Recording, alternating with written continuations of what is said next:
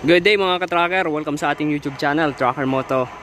Ayan, meron kami ditong unit na fully recondition. Pakita ko sa inyo para magkaroon kayo ng idea sa mga ganitong unit na fully recondition Japan surplus truck. At nandito tayo sa Calipils Marketing Corporation. Dito yan sa Amambugdos, Bacoor, Cavite. Nagbibenta sila ng mga Japan surplus truck.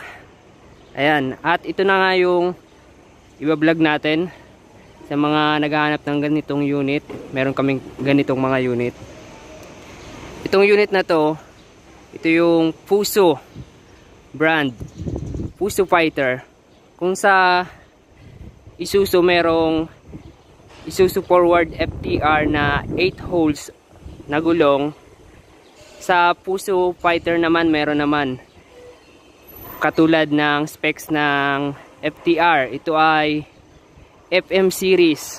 Ipakita ko sa inyo. Ayan, katatapos lang i-test drive tong unit na to. Ito yung unit.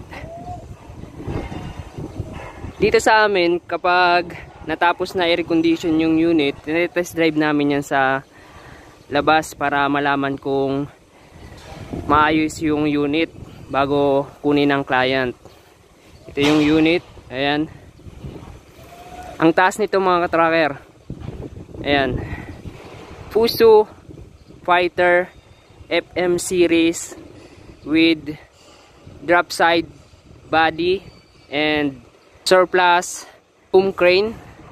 Ayan. So tingnan natin yung unit. Fully repainted. Kulay dilaw. Ayan, kala mo si Bumblebee. Ayan.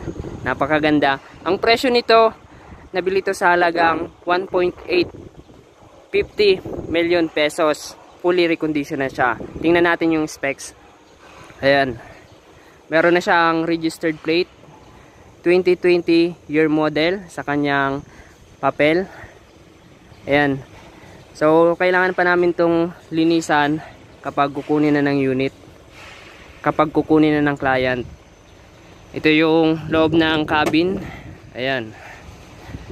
Ito yung loob ng cabin naka-upholstery na yung mga upuan. Meron din siyang center seat tulad nung sa FTR na blinag ko yung huling vlog ko. So kailangan pa ito linisan itong loob na to hindi pa tapos. Ayan. Ito yung panel gauge. 6 speeds manual transmission itong unit na to.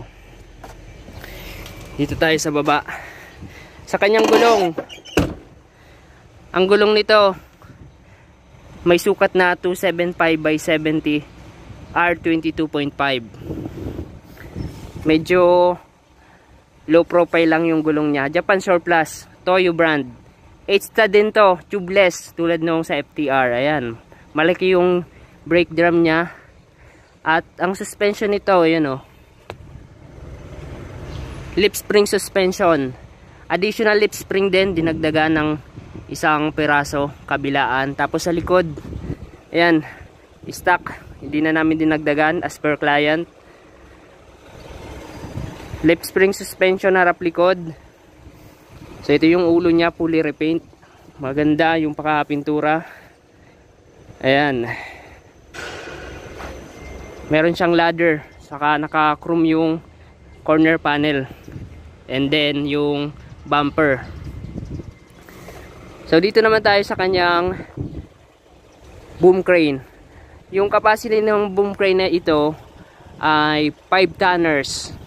3 section to mga katracker. Tadano brand. Surplus Japan. Maganda itong crane na to kasi dito sa atin maraming pyesang mapagbibilihan kapag nag-maintenance tayo ng ganitong boom crane. Ito ay naka electronics na din itong Tadano crane. Ayan original sa kanyang body sa truck. Ayan. So sa body tayo meron tong 20 feet na haba. Itong body na to hindi siya original sa truck. Patong body to. Ang kagandahan dito itong anong ito body na yan yan yung body ng self loader kaya matibay ito Dinag, nilagyan lang namin ng ano ito aluminum drop side So, yan. Modified dyan. Saka naglagay rin kami ng 3 layers running guard. Tubular. Ito pala yung fuel tank niya. Ayan. Maganda. Ito yung likod na gulong. Makakapal yung gulong nito mga katracker. Ayan o. 80% yung ano ng gulong. Kapal ng yung kapal niya. Ayan. Ayan o. Pati yung spare tire natin makapal din yan. So meron pa siyang running guard dito sa likod. Naka M4 type clearance light. Ayan yung likod niya. Ito yung likod. Maganda. Tapos yung flooring nito naka steel flooring na. Checkered plate, steel flooring. Ayan.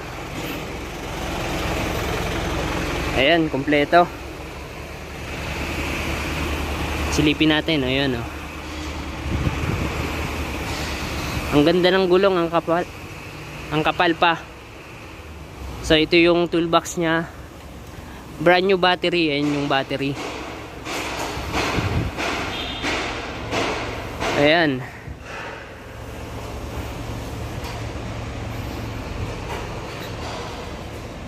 Ito yung unit.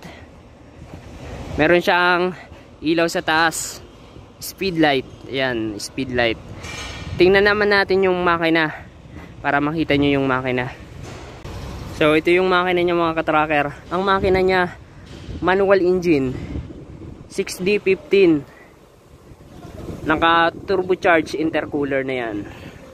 Ayan, kailangan pa namin washingan yan kasi may mga alikabok pa. Ayan, wawashingan pa namin para matanggal yung mga langis-langis. Chinek na yan ang mekaniko namin.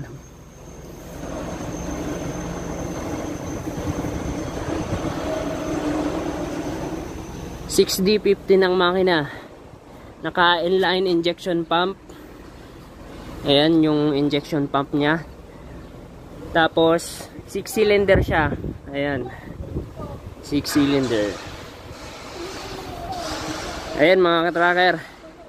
Ito yung fully recondition namin na Fuso Fighter FM series 5 tonner boom crane. Ano, ang ganda. So baba na natin yung cabin. Manual lang pagbaba nito. Ayan. Okay. Ayan, yung unit. Ang ganda. Parang si Bumblebee. Ayan. So dito ko lang tatapusin tong vlog na to. Maraming salamat sa panonood. At kung bago ka lang sa aking YouTube channel, don't forget to like this video kung nagustuhan mo. At kung may katanungan ka, pwede kang mag-comment din sa baba.